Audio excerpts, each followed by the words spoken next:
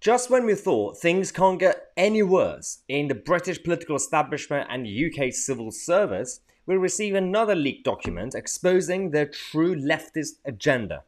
Now, this is all about the diversity agenda. They, they call it, this, this thing that we received is the inclusion in action. They are training the staff in the civil service, all these top civil servants and lawyers and everybody.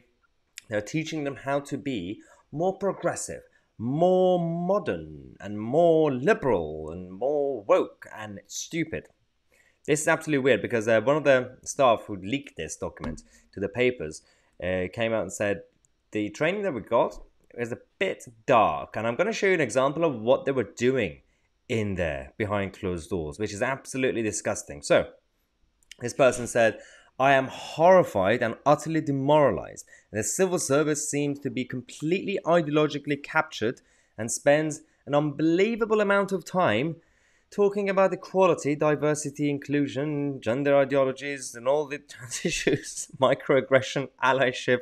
The list goes on. This isn't just about uh, teaching people to be tolerant and open minded. No, no, no, no, no. This takes it to a whole new level. Let me show you what they were doing behind closed doors in those meetings. You ready for this? I'm warning you. This is what they said Clear your mind and close your eyes. Picture the individuals described and conjured up the most detail you can. Like an elderly Japanese gay grandfather and an African Paralympic athlete in a wheelchair. What? How is this helping? I don't want to picture that. Why would you want to picture an elderly Japanese gay? How do you picture a gay grandfather? By the way, how does that work? Does he, does he wear a rainbow unicorn hat or that? I don't know how to picture that. By the way. Secondly, well, an African Paralympic is literally ticking all the boxes possible, every single box.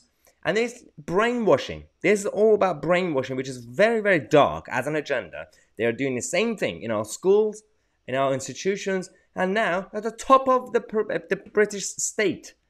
The British state, by the way.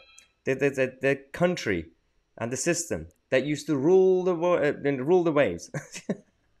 this is absolutely weird the situation we now have. But it is what it is. We're going to come back in half an hour, give you more updates anyway. Subscribe to the channel.